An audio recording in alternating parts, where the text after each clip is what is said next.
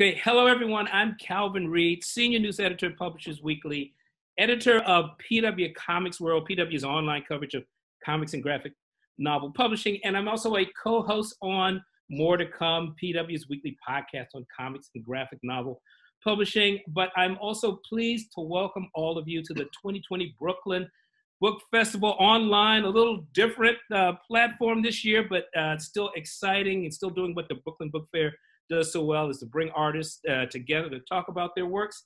Uh, we're here today with a great trio of artists. We're going to start off with, with Dave Chisholm, uh, Emei Burell, and of course, Joe Sacco. Uh, before we begin, I think there's going to be a link somewhere where you can actually purchase uh, the books uh, that we're going to be talking about. So, you know, please indulge. I just want to tell you a little bit about the panel. All right, it's called Makers of the Road writing hidden history. And what we're going to look at is three authors who skillfully use the graphic medium to really investigate uh, our, the culture of different personalities. It's really creative graphic nonfiction at its best. All right, let's start all over again. Dave Chisholm, Chasin' the Bird, uh, Charlie Parker in California, a really, I think, a groundbreaking uh, book that looks into the life and the music really one of the most revered uh, and influential alto saxophonist com- composers uh, in the history of, of jazz. Uh, we're going to talk a little bit about that and the book and where and and um, uh, and how they put it together. Next, we're going to be talking with uh, Emei Burell, whose work "We Serve the People: My Mother's Story" uh, really is a fascinating look at the the Chinese Cultural Revolution through the life of really one person, and in particular a woman uh, with with very very particular demands and very and really an extraordinary story of personal determination. And then, of course, uh, Joe Sacco, uh, uh acclaimed uh, comics journalist. Uh, his most recent book, "Paying the Land," really a look at the native indigenous people of Canada, their history, their struggles, and in fact, their their the, the complex landscape that they exist in now between their history and the demands of uh, both the Canadian government and the contemporary world. So, look, uh, uh, that's a quick synopsis. Uh, I'm going to go down the line and let you talk a little bit more about your books. Uh, so, look, thanks you all for being here. And uh, let's start off with Dave. Um, Dave, tell us a little bit. You, first of all, just to make sure people understand what we're talking about, can you tell us a little bit about Charlie Parker. I know this is a name that people may recognize, but I'm not sure people always understand the impact that he's had on on 20th century uh, American music. Yeah, uh, Charlie Parker uh, was a saxophonist who um, was was mainly active as an artist in the um, 40s and 50s, and he's an innovator in the jazz medium. Um, he played saxophone, like you said, and he's um largely credited with being one of the key figures for like advancing jazz music past the swing era into like bebop and kind of transforming jazz from like uh, commercial music to more like art music. Um, and when and you know like I well, we'll get into it. I I uh, I have a lot of I have like th- three degrees in jazz music, and when you study jazz music and jazz improvisation, I would say like 80% of what you study really can be traced back to Charlie Parker's innovation. So he's this and he's this incredibly um, influential figure and made all the more remarkable by the fact that he died at age 34, uh, pretty young. So he's a fascinating historical figure. And he's a he's a he's a revolutionary musician at a time when it was incredibly difficult for black musicians in particular uh, to be more than entertainers right right right right right. Yeah that was kind of the the um you know unspoken agenda of these of these like so-called like bebop musicians. Um they kind of got fed up with the like poor conditions for black musicians who are touring through america and the dangerous oftentimes dangerous conditions.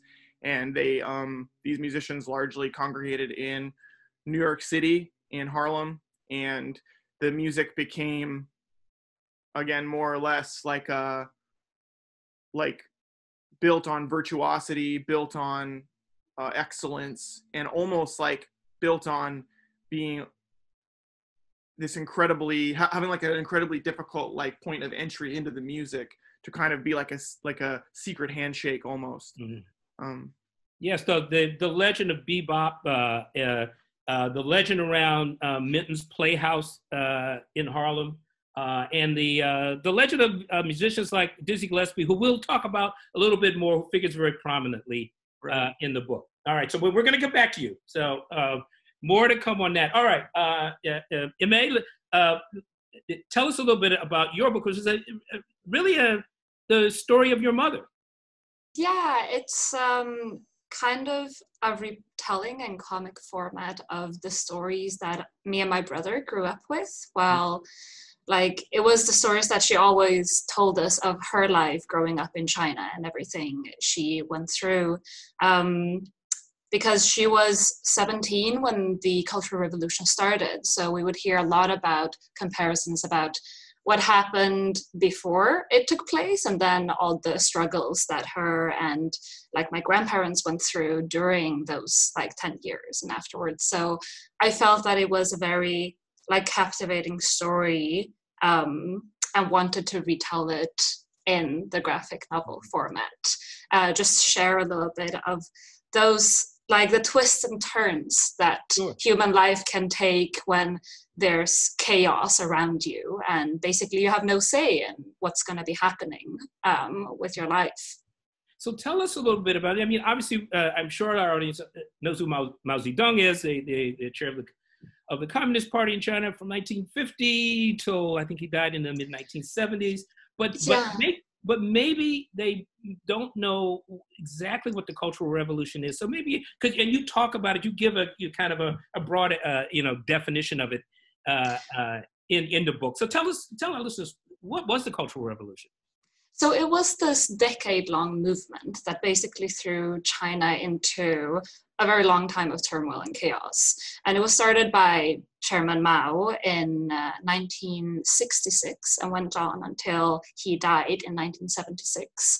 And it was like a re-education of the entire society it was to it was supposed to breathe new life into like communism um, and it was also a tool for Mao Zedong to kind of clear out his opponents within the party and in society. So they wanted to like throw out all the old things, like all the bourgeoisie thoughts, like all the develop- developments towards capitalism, and just break and burn the old and bringing new like communist thoughts. Um, and this affected everybody in society, from like the most rich landowners to like the poorest peasants.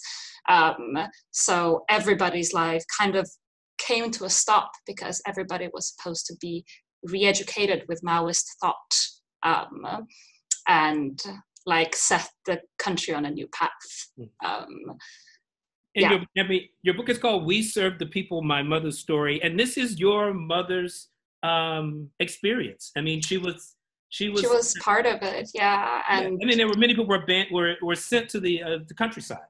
Yeah, so a part of the communist revolution that affected um, young people, basically, was called the Up to the Mountains and Down to the Countryside movement, which was a nationwide movement where, um, and I, I think a quote from Mao Zedong was, we want to send urban youth, educated youth, out to the countryside to learn from the poorest farmers what China really is.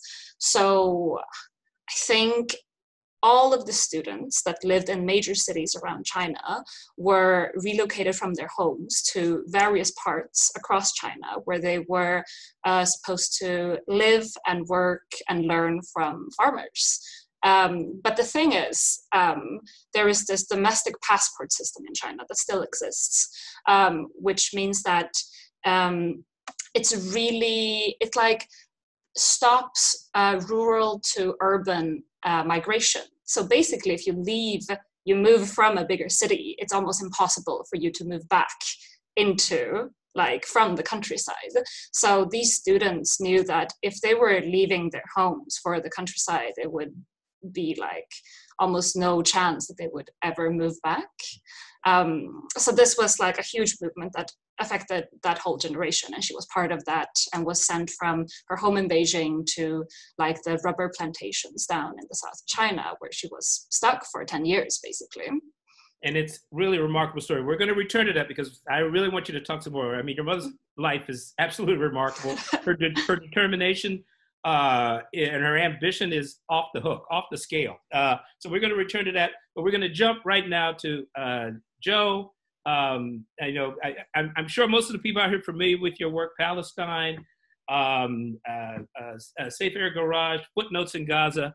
I mean, you, have done something very similar, though not a war zone, at least not a war. Um, other, not like the wars perhaps you've covered in the past but in some ways a, a different kind of war. Uh, can you give us an overview of paying the land and, and what you're doing, maybe and how it relates to some of your past works? Okay, well, um, uh, thanks for that. Uh, Paying the Land is a book about a trip I took up the Mackenzie River Valley uh, to meet indigenous people, the Dene people in the Northwest Territories. And it started out sort of as a book about resource extraction and how it affects indigenous people. That was my initial idea. But when I got up there, I realized it, there was a bigger theme. It was about colonialism. Um, and uh, the book ends up being about how the Canadian government um, basically had to, once they found resources up there, uh, they had to formalize their relationship over the people. And that was done uh, by a number of methods, basically by treaties in which the indigenous people supposedly gave up, yielded their rights to their the land, what was on the land under it, and also by breaking people from the land. Uh, that's another way of controlling them. And the main way that was done was through the residential school system, which took children from their parents and really without telling the parents where they were going would fly them to different schools around the northwest territories and other parts of canada. And in the schools they basically regimented the children uh, beat them if they spoke their languages uh, just basically tried to christianize them and turn them into some form of a western western person. And obviously when these kids returned to their communities, there was a, a great alienation from their communities. Often they couldn't even speak to their uh, grandparents anymore. They couldn't speak the language and they were cut off from what they knew. So it's a story of basically, it's a book about what happened to the people, um, the after effects of colonialism, the continuing effects of colonialism, and how people are trying to resist that. Well, this is great. I, am I'm, I'm going to return to you because I want to uh, I want to uh, I want you to maybe to pull some of the personalities out that you talk with and how they illustrate that. So we're going to do it, but we're going to jump back to Dave right now. And um, uh, Dave, I want you've structured this uh, this graphic biography of Charlie Parker around a specific time uh, in his life. Yeah, um, a, a trip to California. Uh, I mean, I, I, I, do want people to understand a little bit about uh, the context. I mean, Bird was a brilliant uh, and transformative force, uh, but he was also, he had his demons. Uh, and you created this real, this fascinating structure of associates. This, I don't want to say that word Rashomon, but I'm gonna, I just said it. But it's a, there's a sort of a 360 degree look through but well, you talk about it. How how have you structured the book, and uh, and what what do these associates talk about? Uh, the book is structured in in six vignettes, and and, and then like an introduction and an like an outro, um, and the each vignette is narrated by a different a different person whose life intersected with Charlie Parker's life during the time when he was in California. Uh, the the idea to constrain the story to this period this brief period of time was uh, actually part of the part of the when I was approached to do this. It, it wasn't like my idea to do this, but I'm really glad that this was the case because it's a lot easier. It was it, it was a lot easier to dive deep in like a two year span as opposed to try to like cover you know his entire life. Um, and so uh, and this was intended to um, explore the fact that like with Charlie Parker in history, um, you get like an idea of Charlie Parker, the man, and of Bird, the legend. And there's so Mhm, many yes. tall tales about Bird that that uh, that that that exist that that that kind of like in so many differing accounts, so many different stories of like what he was like.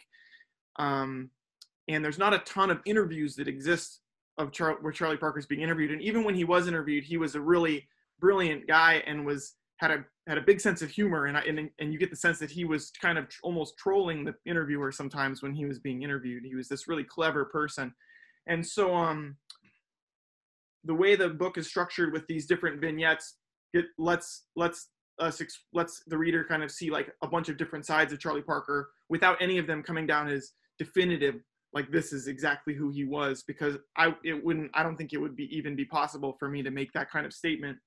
Uh, and when I when I was putting it together, um, I knew I wanted to I wanted each vignette to be told with with a different art art style to reflect the point of view of the person telling the story.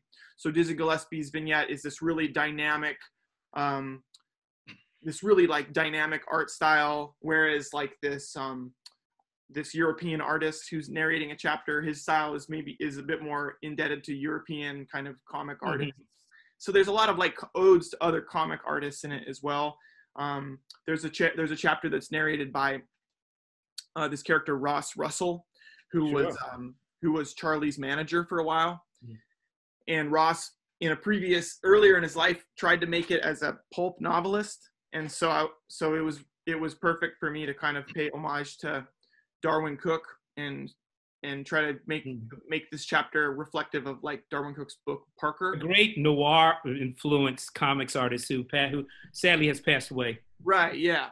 Um, and um, and yeah, this kind of like uh, this really allowed me to explore like a lot of different points of view of Charlie Parker, and again, also explore the kind of like the, the faulty memory, sort of like people's memories combining different events together and uh, play a little bit more loosely with um, with history, probably more so than either of the other two folks on this uh, on this panel. One thing I'd like to jump in to talk about is that they, it, I mean, this is an authorized biography because the Charlie Parker estate, right, Mhm. um, is you know is did give its approval. But from what I've understood, they were very open. I mean, this is a very creative and not always flattering portrait of Bird. Bird was was brilliant, but he was deeply troubled at the same time. So, Yeah. yeah. I mean, I mean, and we, and you, we have to talk about this. I mean, uh, dope and and and alcohol uh, were had a, just an awful effect on his life, and it's very difficult. And you managed to do it Oh, yeah, To- yeah. Um, to document his troubles without it um, exploiting. ignoring his genius. Yeah, yeah. Well, I um, it was definitely uh, the the the estate didn't want the book to be like graphic in depictions of things, but there's no way to tell the story of Charlie Parker without tackling this idea of his of of his addiction, his addictions, and his troubles like with addiction, and um, you know, our culture has like American culture has a really frustrating relationship with the with addiction. And uh, i really wanted to kind of uh, to, to to look at it as an exploration of like like what the circumstances were that led to this person being an addict. And the fact that like really the this obsessed part of his personality that led him to be such a transcendent brilliant musician is also probably the co- like a huge part of that obsession like led to maybe some less than savory parts of his life as well. And of course, the fact that he's living in a period of the most vicious American racism you can imagine. totally. Yeah i mean it's a, it's it's amazing. It, it, it- it's heartbreaking to think about what this guy could have been if he wasn't like in an environment that never allowed him to have rest that never allowed him to escape. Um, and and when you really look at all of his various obsessions and addictions it was always about like escaping the the escaping kind of the prison of his mind or the prison that and and, all how his whole environment created that prison in his mind um and and then trying to find angles to tell put that in a comic book, you know, and like. I'm going to jump in here. We're going to get back to that right now. Let's jump to uh, uh, to uh, to Ma. Tell us more about your mother. Um, uh, I mean, I mean, and also the context of women in China at this time. I mean, she was a truck driver, a tractor driver. Uh, tell us more about your mother. Uh, I mean, I guess after she lands in uh, at the rubber plantation.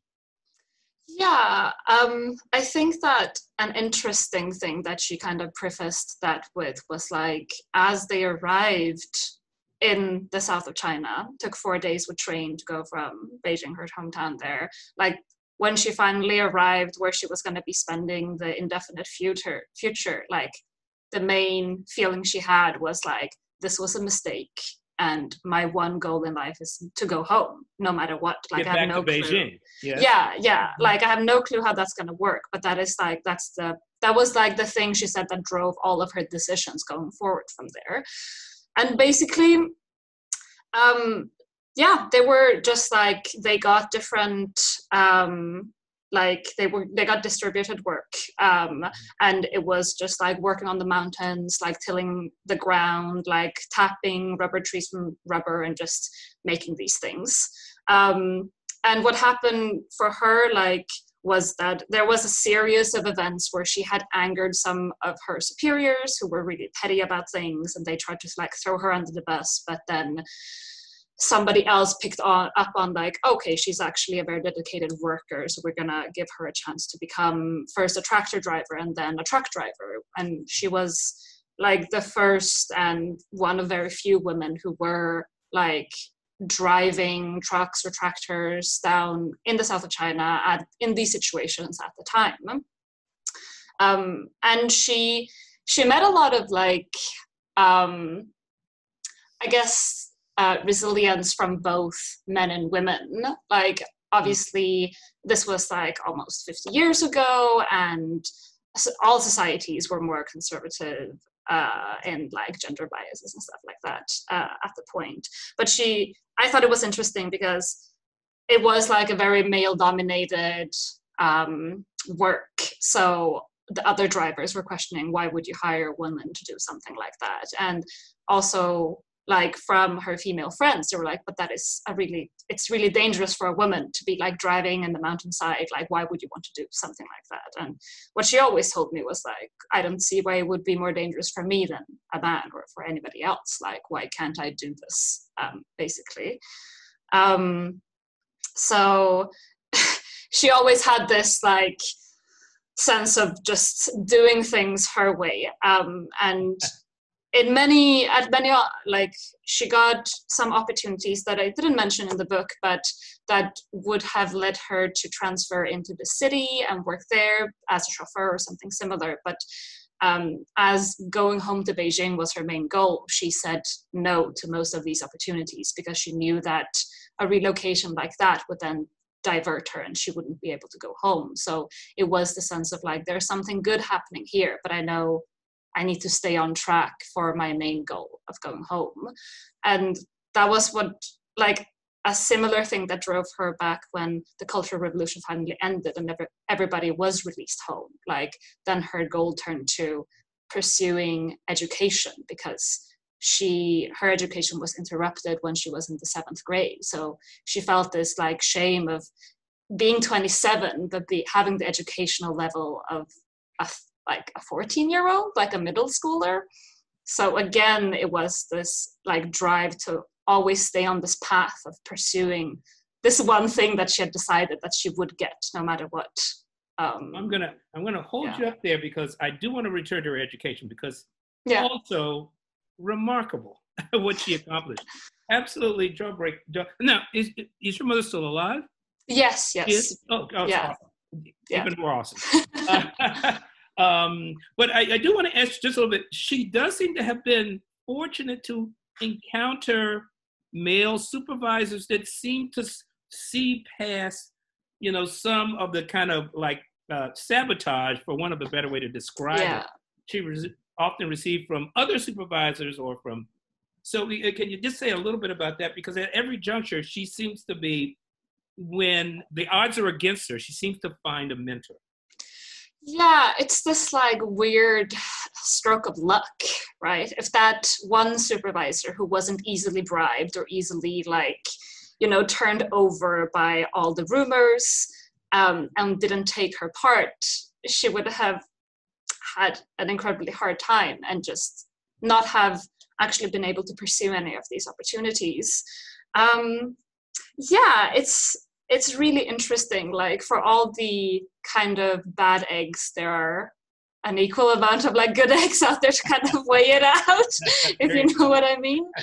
Um, but it does show like that there's just um, a deep I feel, anyways, from these stories when I read into it, is that there is a deep sense of corruption and like in uh, like all of the levels where it's like, okay, you you're supposed to do it this way. You're supposed to bribe me, you know, like I'm not going to help you unless you do this favor for me. And if you then try to do things like, you know, I, I buy you this thing and then I ask you for money afterwards because I did you a favor, then it's like, okay, you want to go like the correct way? Yeah, I'm gonna like mess things up for you in that case.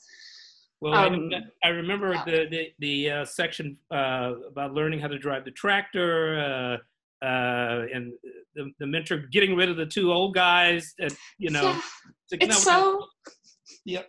But I'm going to return to you because I do want you to talk about her education, which is just extraordinary, and another mentor there, actually, that rescued her in some ways. But let's let's jump to Joe uh, because I mean, one of the things uh, in in paying the land is you, you, you really talk you talk to a uh, to several generations of Native leaders, and the book opens, I think, uh, with Paul Andrews, uh, and then later in the book, you really sort of survey uh, survey both a new generation of young people and perhaps some potential leaders. So maybe you could tell us a little bit about uh, uh, Paul Andrews, who's opened the books, and some other personalities in the book that provide some insight into uh, the life and the future, I guess, of the Native peoples in Canada.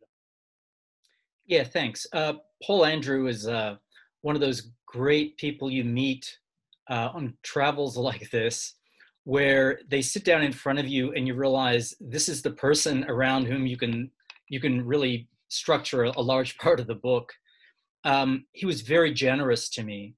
Uh, we we sat down so we could talk about residential schools, which I mm-hmm. I know was going to be hard for him. And later on, I found out he had you know quite a lot of doubts about even venturing into it with me. But what was really uh, great about the conversation is he didn't start there he started with uh, the story of growing up in the bush. And you know what what readers will find out is that people about my age, and I'm I'm close to 60 now, uh, readers about my age in the Northwest Territories. Over 60, but go on. well, I'm, I'm about a week away. Okay, so welcome um, to the club. Yeah, go ahead. okay. Well, you know, people my age would have grown up in the bush, would have, would have spent uh, part of our childhood if we were up there living. So he could relate what it was like to grow up in these communities as they existed at that time. And clearly, from everything he was telling me, you could tell the sense that he felt he had a real purpose within his community, that he understood exactly who he was as an individual, and individuality was encouraged, but also the the family group, uh, they were basically semi-nomadic people, was was really strong, and everyone knew their place within the community. It was uh, a very strong way to grow up, and it was all related to the land and how they felt about the land and what the land gave to them. So the book starts with him explaining these just just what life was like. Mm-hmm. You know, um, living seasonally, hunting uh, animals for fur and bringing them into the small towns around every now and then. Really, they spent most of their time living in the bush and really hard, but by my standards, pretty hard conditions.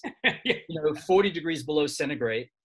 Um, so, and their migrations. I mean, you talk about that quite a bit too. Uh, yeah, they would go up and down the Mackenzie River Valley. You know, if fish were running, they would go to where the fish were running they would meet every now and then in, in hamlets to have weddings, just to to reacquaint themselves with their relatives in different parts of the mountains.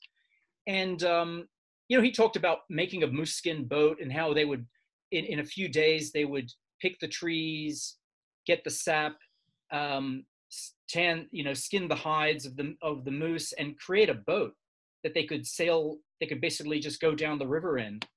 Um, so it was, it was just a beautiful story because it, it it sets up the premise of the book, which which is basically so what's changed, how has it changed, how did Canada manage to to to break this or attempt to destroy this, and why? So he was a very good person to to begin the book with, and then he he sort of brought me through the residential school system and his experiences with it, and how he was um, just basically hammered into being a Westerner. Mm. But he never really became a Westerner because ultimately he has a very good critique of the West and what it um, uh, what it did to his culture. In fact, when I was listening to him, it, it, it sounded like he'd been reading Frantz Fanon. You know, I mean, he really has a great critique. Um, and then that has extended over to the, a newer generation of younger people who didn't grow up on the land, who realize what's happened, also have a very strong critique, and are trying to more self consciously rebuild their Dene identities. And it's a struggle for them because they have to relearn the language. They have kids themselves, and they can't really transmit the language to their kids without learning it themselves. They have to, you know, a lot of them have grown up in towns, um, so they don't even know the land. They have to sort of put themselves on the land, learn how to hunt caribou, just learn how to be a Dene person. So, but but they are struggling uh, toward that, and they do have a very good understanding of what's happened to them. Mm-hmm. Very quickly, uh, uh, uh, uh, if you could comment on the, the other point you made earlier about how treaties were used. Maybe you could talk a little bit about the Berger inquiry. inquiry? Yeah, well, the Berger inquiry was uh, something that happened in the 70s uh, there was a natural gas pipeline, a, a proposed project, and uh, indigenous people basically wanted to assert themselves. And um, Berger was a Supreme Court justice uh, from British Columbia, and he went down. He went to the Northwest Territories and basically spent a couple of years finding out uh, what indigenous people thought about this project and it's through that through that inquiry that they began to talk a lot about what happened during the times of the treaty. How the treaties took place in the 1890s and the 1920s in, in this particular case. And they basically um, they never thought of the treaties as something as they were giving up their land. They thought of them as friendship treaties. Yeah. and he began to bring these stories out and they told their stories. And so that it became a very seminal moment in their history when they began to sort of recognize themselves as uh, for who they were as Dene people, not as Indians. Yeah, hmm. great. We're going to come back to you uh, because I there's also some heartbreaking times where they they're grappling with modern culture uh, uh, beyond the ways that you're talking. But we're going to come back to that. Um, we're going to jump back to Dave now. Dave, look, uh, may I call you a unicorn? Uh, in some ways, uh, you're like, you know, if there is a some sort of jazz deity. They they put you together to write this book. Uh, you're a cartoonist. Uh, you're a trumpet player. You you have an, another book called Instrumental, also published by Z2, that I read a couple years ago and was impressed with. Uh, and then you're a, you're an academic. You're a PhD. So tell us something about your background and how you bring all of these. This seems to be like the project you were meant to do. You know, Calvin, I think it just boils down to like it's going to be a corny answer, but just time management. okay. Uh, like I've and, and and just like really having a very like lucky life where I've got I've had the like privilege to be able to pursue my obsessions to like an extreme degree, and um really just like and just get completely carried away by my by my obsessions whether it's like music or comics you know but for me my background like the earliest music i ever i remember hearing in my whole life is my dad spinning miles davis sketches of spain on the turntable when i was like three years old um, and then the, and then my mom to this day claims my first word was Spider-Man, which is probably a like a total lie, you know, but she still claims that that's the way it is. I don't remember it. Works for me. And so like for me these are like two two threads through my life that have been there the whole like constantly. And so um you know, when this kind of when this opportunity fell into my lap, it was it was a a real serendipitous confluence of my obsessions. Um, and yeah, I mean, I couldn't have been more thrilled to like immerse in this project. And it was a, it was a really, I've, I've never had a project that has come together so quickly and easily as this project did. It was like just an absolute joy to make from beginning to end. So, well, one of the things you've done, I mean, you really, I mean, I mean, I don't know if you've done original research, but what you have done, you brought all of these uh, uh, narratives that you incorporate are sort of legendary. And actually, I'd like you to mention a, a couple more of them. I mean, I I, uh, I knew about uh, uh, the party, the great party in L.A., the Zorthians party. yeah. In fact, in fact, rather than me jabber, I mean, mention some of the other accounts. You mentioned uh, obviously that Dizzy Gillespie opens the book with his Right. one of Bird's both great collaborators and his close friends. But tell us uh, some of the other names of people who are yeah. Um, you the- tell the the- story through. Zorthian Party. Zorthian is a Turkish artist that lived in the foothills of LA and had a ranch where he would where he would like have these enormous parties with artists. And he invited Charlie to play come play at a jam session. And Charlie, of course, showed up late and possibly like um inebriated. And he wouldn't play music. He refused to play until a woman at the party promised that she would take her clothes off if he played. And so Charlie at that point was like, "Oh, please, like, let me play. Don't leave. I'll play." And um, and yeah, this is a legendary party. It's all recorded, so like you hear them play the song "Embraceable You," and you can hear people.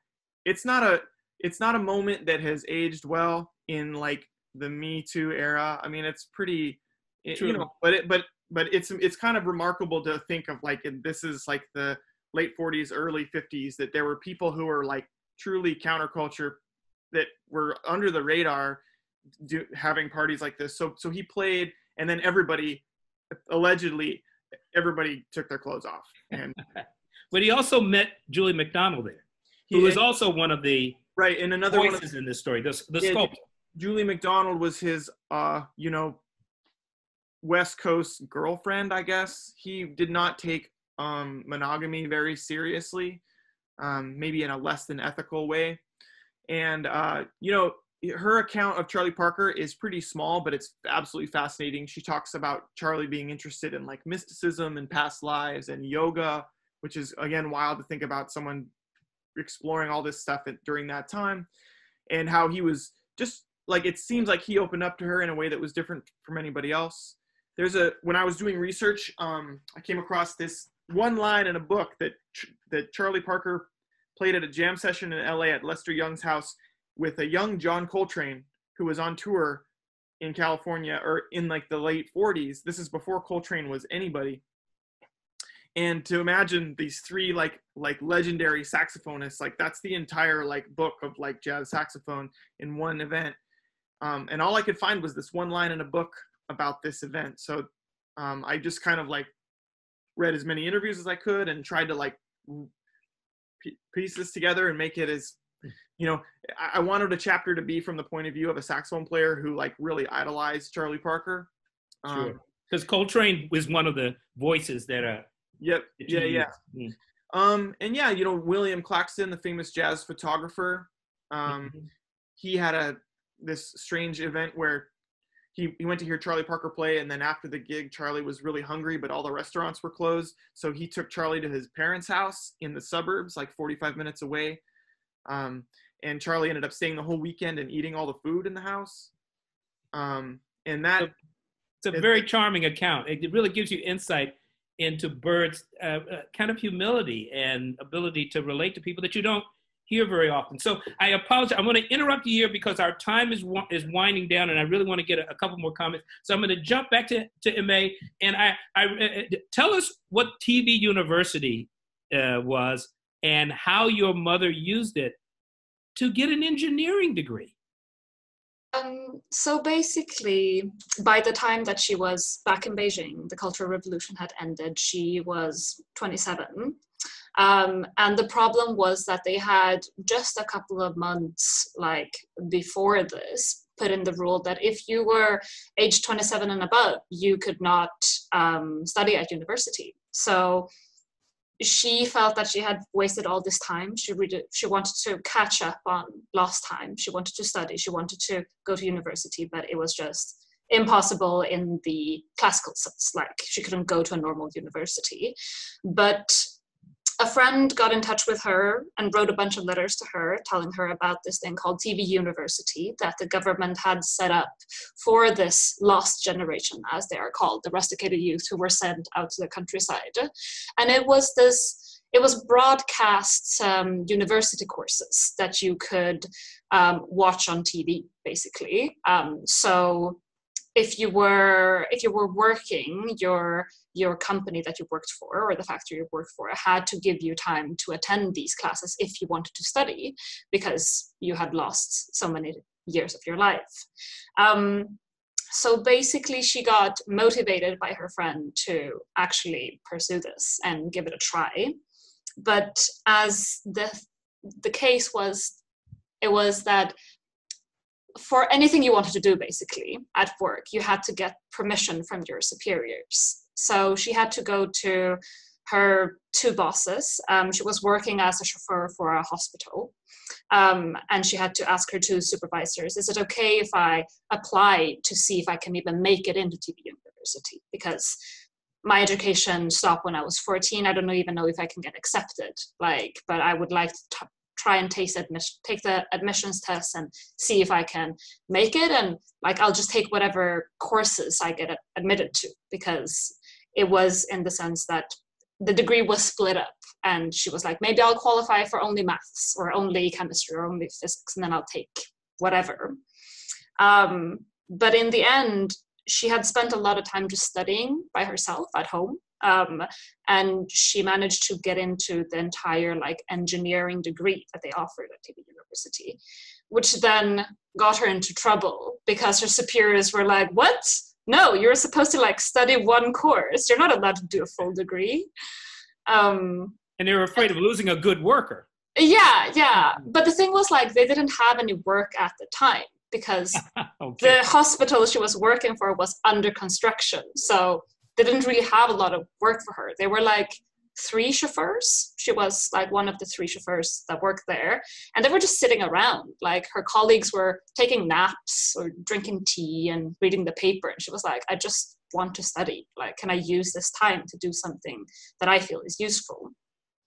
But basically, they were like, no, you broke the rules. You broke the rules that we set up arbitrarily. So we're just gonna make sure you can't make any of the classes. Um, so it would be like, oh, we need some nails to put up some lights. And there would be a hardware store that you could go to like five minutes bike bike ride away. And they were like, hey, take this guy and drive across town to buy some nails.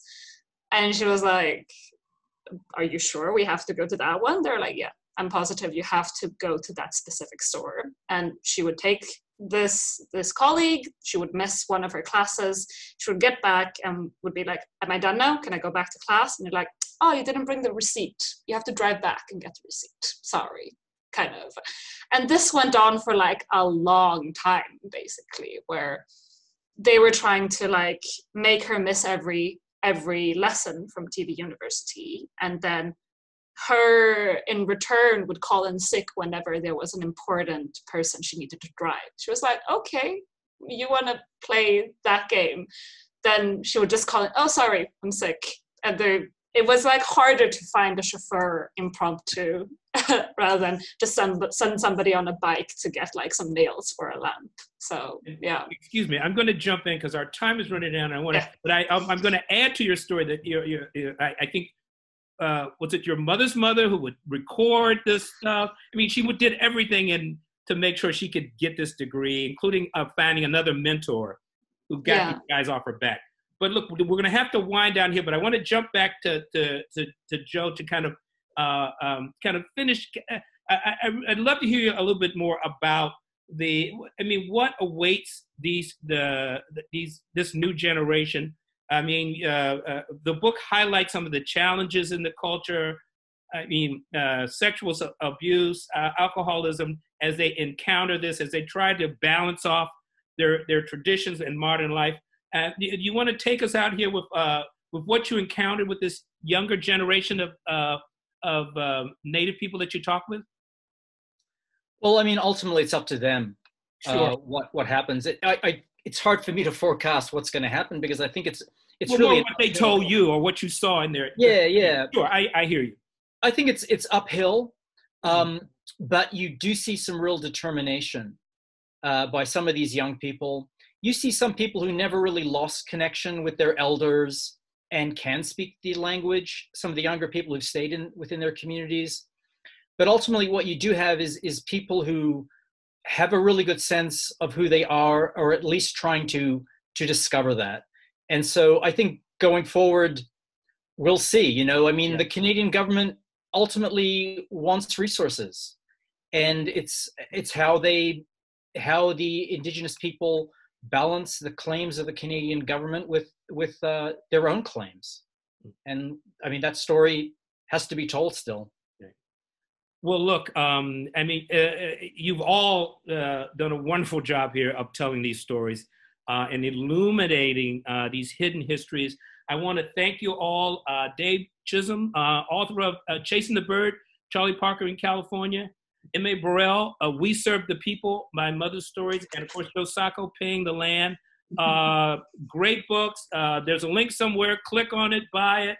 These are great books. it's just been a pleasure to talk to all of you. And Thanks for being a part of the 2020 Brooklyn Book Festival. Please consider making a donation to the Brooklyn Book Festival, which is celebrating its 15th year presenting free literary, literary program. Uh, there you go. All right. Thanks to all of you. This has been terrific. Thanks, Calvin. Thanks very much. Thank you.